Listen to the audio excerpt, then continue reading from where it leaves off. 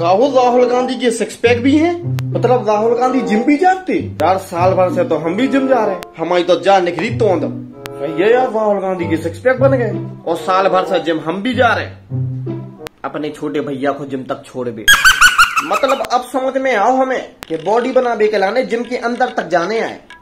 कोई बात नहीं जे जे छह महीना में अपने भी सिक्स पैक हो जाए। लेकिन यार राहुल गांधी तो कांग्रेस के अध्यक्ष भी बन जाए। वो नहीं हमें कबू बन पाने। खैर वो तो निन्यानवे परसेंट कांग्रेसियन को भी नहीं बन पाने